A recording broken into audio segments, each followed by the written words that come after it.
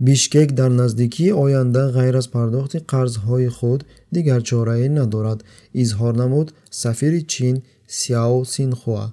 Қирғизистон монанди дигар кишварҳои осиёи марказӣ аз маблағгузорони хориҷӣ аз ҷиҳати молиявӣ тобеъ мебошад хусусан аз давлати чин дар навбати худ чин имконияти боз ҳам зиёд намудани нуфузи сиёсӣ иқтисодӣ ва низомии худро аз болои кишварҳои осиёи марказӣ пайдо мекунад.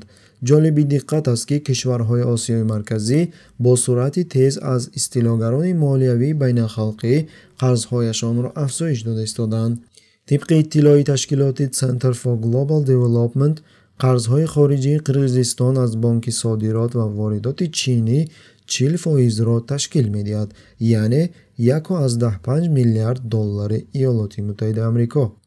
Дар маърӯзаи тадқиқоти натиҷаҳои қарздорӣ ташаббуси як қамар як роҳ дурнамоии сиёсӣ ки санаи 7 март нашр шудааст тадқиқотчиёни ташкилоти center for global development ҳисоб карда иброз намуданд ки давлати чин дар 68 кишвари осиё африқо ва аврупо ба маблағи 8 триллион доллари иёлоти муттаҳидаи амрико маблағгузорӣ менамояд. Ёдрас мекунем ки имрӯз қарздор намудан аз воситаи давлатҳои абарқудрат ба ҳисоб рафта.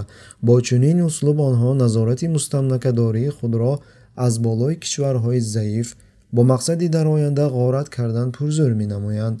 Ҳатто давлатҳое ки ба маблағгузорӣ эҳтиёҷ надоранд ба таври маҷбурӣ талқин карда мешаванд бояд қайд намуд ки тибқи ислом гузаронидани амалиётҳои судхӯрӣ ба мусулмонон ҷоиз нест ва яке аз гуноҳҳои азимтарин ба ҳисоб меравад